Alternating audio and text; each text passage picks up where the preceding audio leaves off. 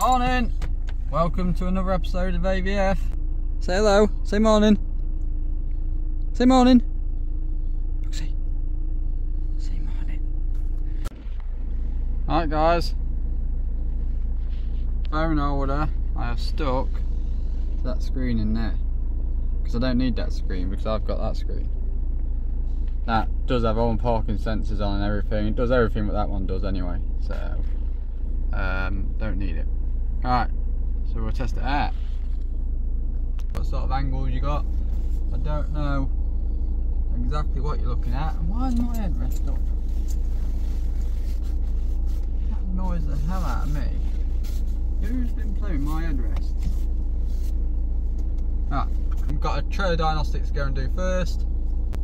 Um, I'm not 100% sure if they like me to uh, video it, but we'll have a go. What, Roxy? What are you getting upset with me for? We've only just started the day.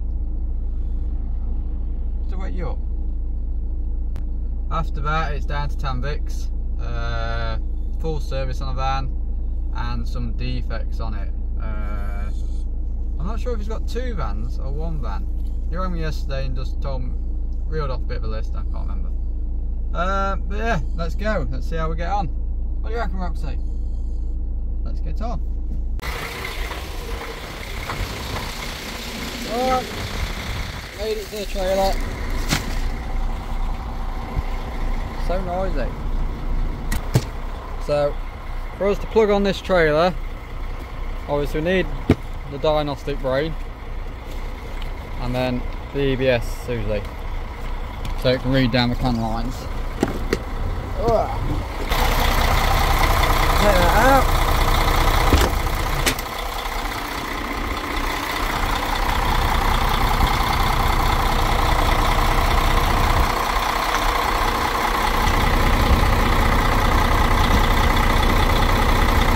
Put that into there.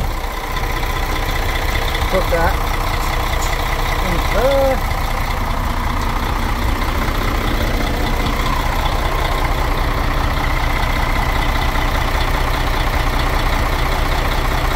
And put that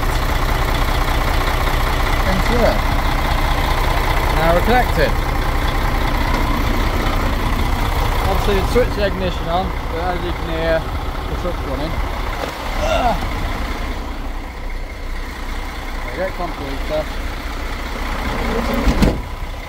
Now I can sit in the van where it's quieter. Roxy. She's in the seat again. As soon as I leave this van.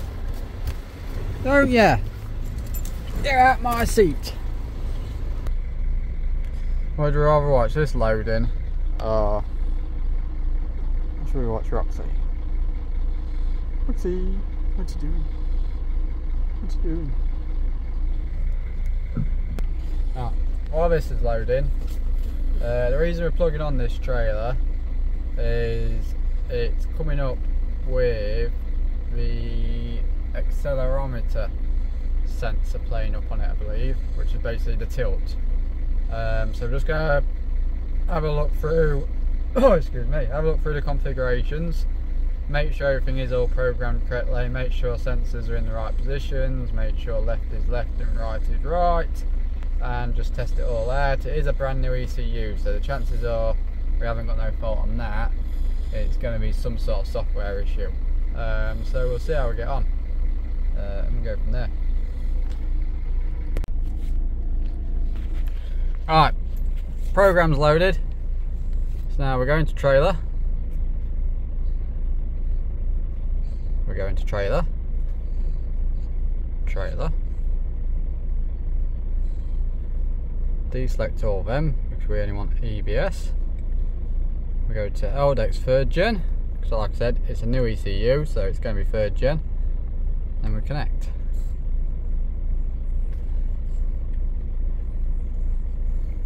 Oh, is on it tells you down here basically it's just telling you what different setups you can have you can connect by USB you can connect obviously Bluetooth you can connect straight to the ECU it's all the different connections but we're through OBD so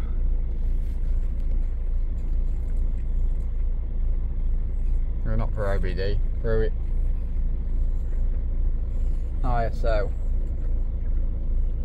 Right, we're in. So, first off, let's go straight to diagnostics. So there you go. Defective signal in the stability sensor. Lateral accelerometer.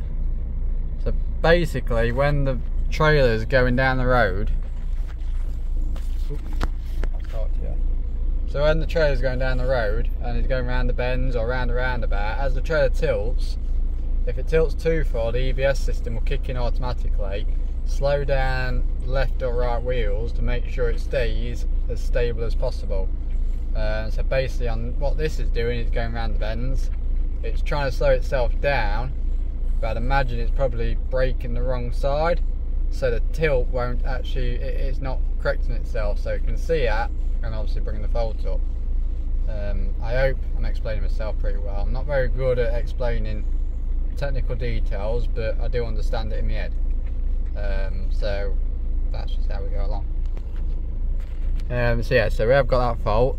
So all I want to check now is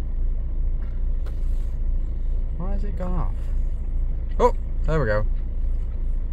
Parameters, display parameters, system configuration, and then basic configuration. So as you can see here, try and get a close up of it. These are all the different positions you can have the ECU in on the trailer. And they're all categorized. You've got your letter to start with, G, H, and then you've got a number. And depending on what the trailer is, what the setup is, and where the ECU is mounted, how many sensors you got on. Here we have a diagram of the modulator in its location on the trailer. You got category A and then you got pictures 1 to 12. So basically we need to look under this trailer and work out which picture is representing a location for our ECU. Um, as you can see, picture one single axle, single axle with a reverse ECU, twin axle, again twin axle reversed, and so on. You've got sensors on the front axle on that, well, on the single axle on that one, twin axle there, sensors on the front, twin axle sensors on the back. All different setups, and you got three axles here. These will be the ones we look at. Um, realistically, I would say we're going to probably be number 9 because it's three axle modulator facing forward and you can tell that because of the it's got 22 modulator 21 modulator and that square box there represent the uh, ECU location. Oh we can go large. So what we'll do and then you got sensors middle axle. Again there you got ECU facing backwards in front of the middle axle, four sensors and then four sensors facing backwards again. So we'll go and have a look, make sure we're alright and uh, then we'll make sure it's programmed right.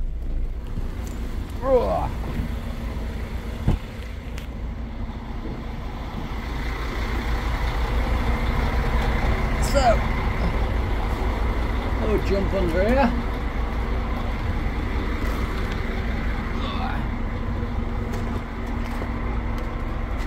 Right. I'll try and get a view for you. So, as we were saying about that picture, as you can tell, the pin is that way, behind us. So the front of the tray is behind us. So the ECU is facing forward. Um, your modulators, which is 2122, is basically representing them valves there. So you got 22, 21. So twin modulator. Some ECUs only have one exhaust um, valves underneath, and that's single modulator. So this is a twin modulator, and then like I say, ECU location. You can see the plugs on the side, that's what the empty box is representing. So this is on the left hand side of the trailer, plugged in, facing forward, and then we've got to look for sensors. So we've got your two sensor markings here. Um, I ain't got my torch with me. I should have brought my torch. But above, on the casing, you're not going to be able to see it. Um, it is marked B and A for the sensors, so you can see the locations. So in our case, we are picture 9. Um, sensors, if we follow the leads, oh, here we go, sensor lead, going down to the middle axle, first, second, third, so we're on second axle. So we'll go back to our pictures, double check we are picture 9A, eh? and then make sure the ECU is programmed in it. And if it is, we'll make sure them sensors are in the right location.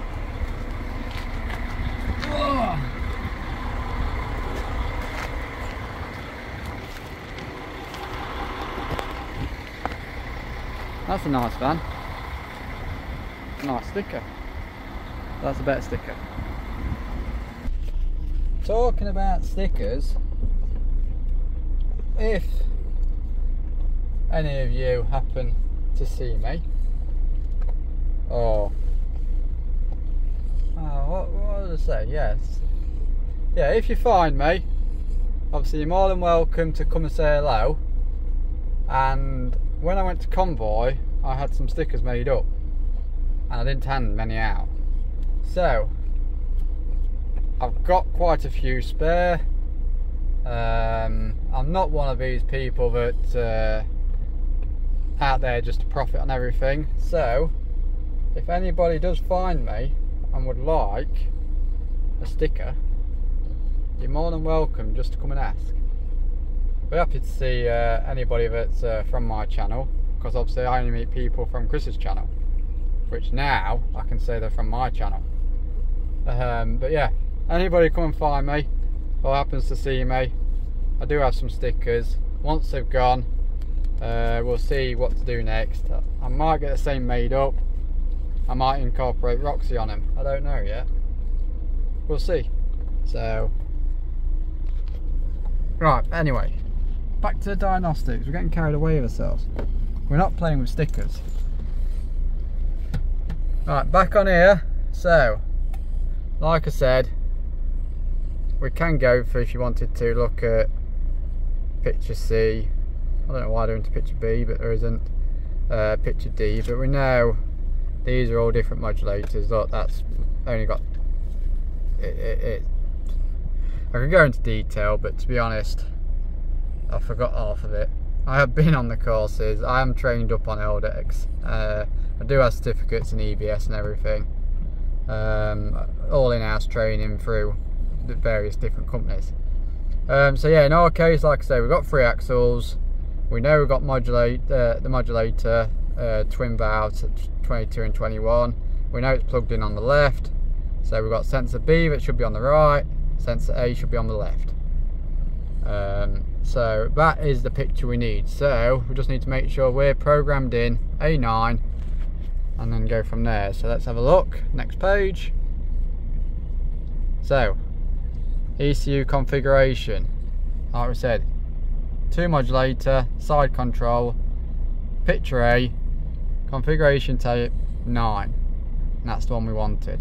When you're programming ECU, what you normally do is pull out all the old data from the old ECU, as long as it's readable, put the new ECU on it, reprogram all that info back into the new ECU, uh, check all the data on it, make sure it has moved across correctly. Um, and then at the very end, you carry out what's an end of line test. Uh, basically, the diagnostics goes for a full test, functions and everything, checks all the ECU, checks make sure it's braking on the left, braking on the right, wheel speed sensors are seen, air pressure buildup is correct, brakes applied are correct, uh, suspension value, it checks everything basically, and then at the end, it's a pass or a fail you get a certificate to say it's passed or you get a certificate to say it's failed. You can print that out give it to the customer or do whatever you want. So um, that's the basic on that round. So yeah on this case like we say we know we're programmed correctly. So we can come out of this. So there we go. So now the only thing we need to do is double check our sensor locations which to be honest there we go. Sensor A should be left sensor B should be right. So let's have a look. Oh no, I come out of it. I pressed too far. So, A left, B right. Oh.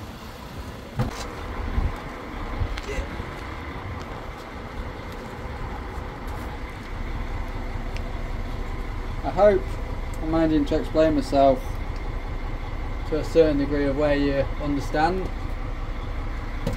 Anybody want to ask me any questions, more than welcome to ask. Whether I answer is a different thing, but no, I will try. right, so. Can you remember which side's which? So we've got sensor A, which should be near side. Unfortunately, on this one, see if you can see it.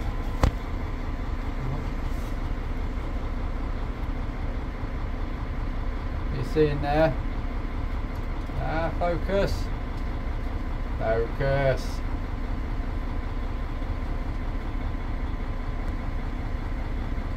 Right. See there, underneath that plug, sent 1A. And then on the other side,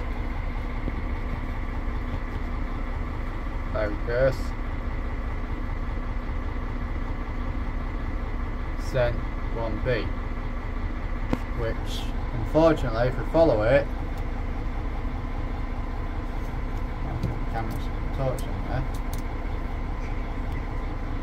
So, A should be to the near side, which is this way. So follow that, go around this way, down here. Oh, weren't fast enough to follow my finger. Oh. You want that side. Well, the wrong way round. That'll be what's causing the fault with the tilt. And this is why I brought. I nearly lost my screwdriver there. So all we're going to do. Do a position you so you might how I don't know how good your view is. I hope you can see. A plug or tab just underneath. Push sensor in, push that in. Out it comes. Easy as that. Then we get on the other side. Through the hole at the bottom, push in, pull out. Two sensors. So we know near side and off side. So near side wants to be A.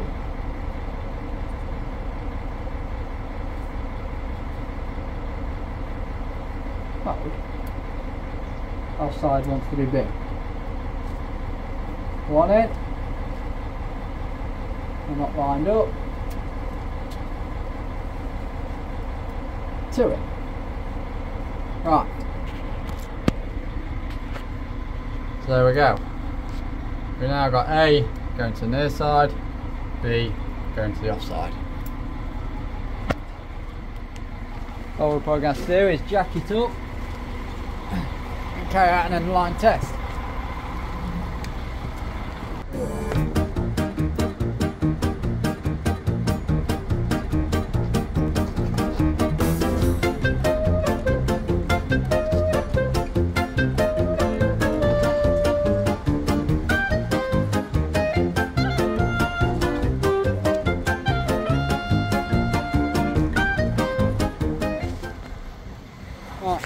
All I've there,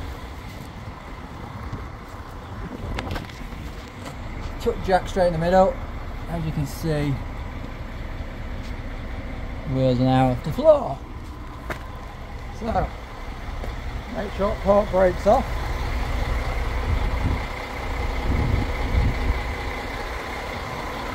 Port brakes there, red buttons in.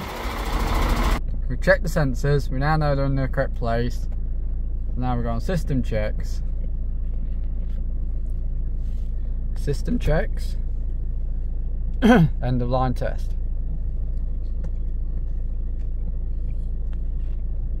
What we want to do is check all of them. Apart from leak control. We know it hasn't got a leak, we don't need to check leak control. Uh,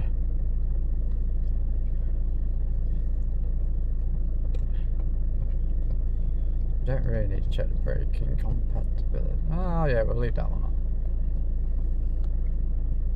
So, there we go. Now it's a case of just do as the computer says.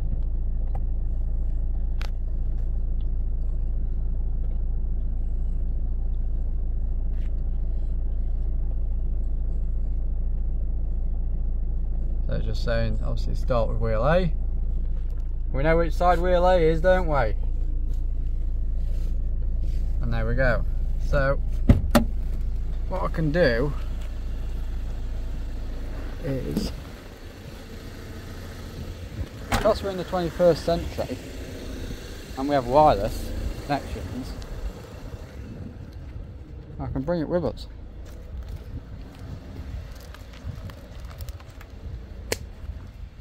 so what should happen is we should be able to spin the near side wheel and watch can we do this on both? Look at, look look look at this. Look, ready?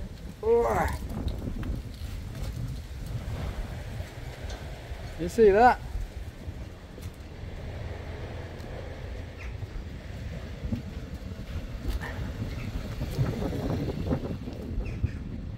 Go to the other side.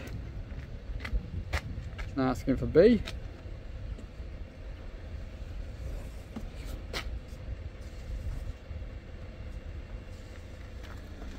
Alright, we've spun the sensors. Now we've got to spin them again to make sure the brakes work on the correct sides. So, you see the wheel stop?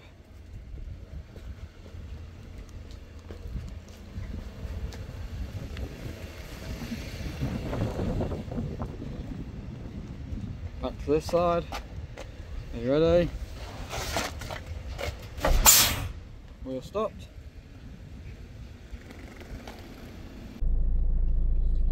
So it's just checking. We've got to be over 6.5 bar in the air supply. Obviously our air supply is 7.8, so we've got plenty. So next one. Now I've got to press the brake pedal.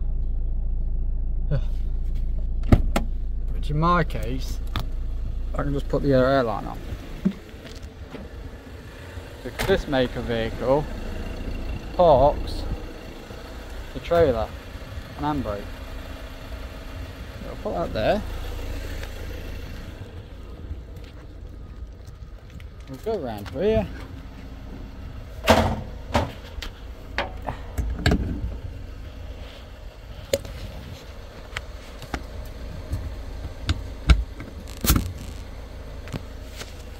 just put the uh, airline back on. we have now got full brake pressure. okay. Check in. Now saying release.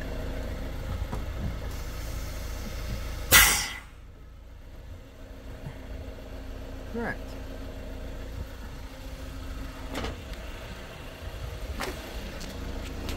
Now I try and sit in the van. I like sitting in the van, it's warmer.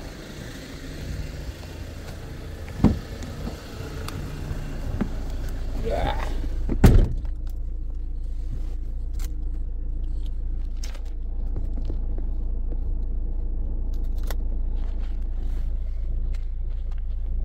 Alright, back one.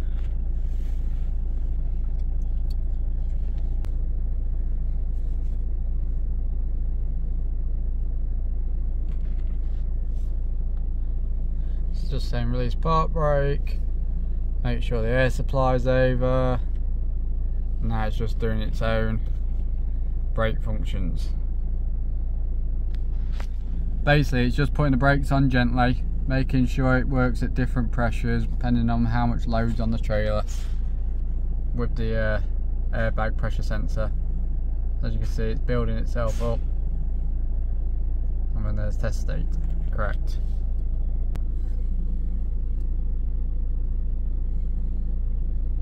Just again asking to make sure you've took the brakes off, which we haven't touched it, so of course they're still going to be off.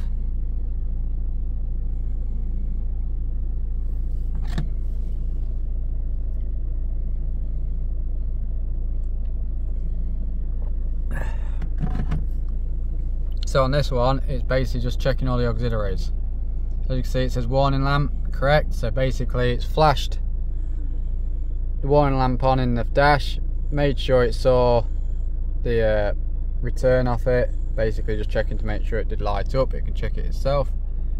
Then you've got configuration 1, 2 and 3. If you've got a COLAS valve, lift axle, basically ride height, suspension and all the rest of it, it'll all be programmed in here the ECU can run through them, send the signal down, make sure the signal returns, make sure it works.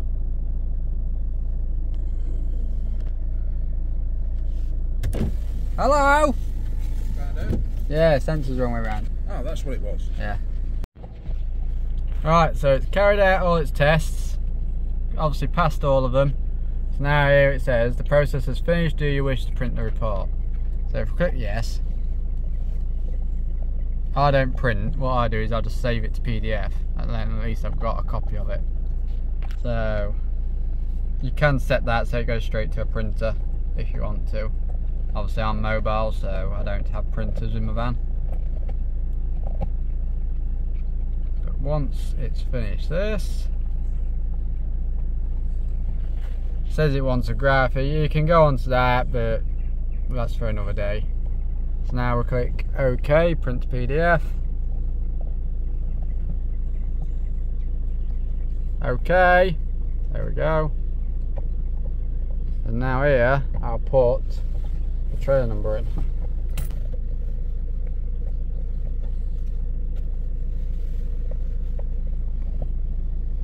Save, and there we go. So that's now saved. We just click back in dot into fault menu, all good. So now we can disconnect, knowing that tray is done. And you guys are lucky you can't smell anything over this because Roxy has decided to let a bit of uh, rear gas out and she stinks. Oh, if anybody owns a bulldog they don't tell you about that bit, do they? Oh, bloody hell do they stink. right, I'll uh, get cleared up on this job. All I've got to do is drop the jack and unplug diagnostics. So I'll uh, catch you on the next job.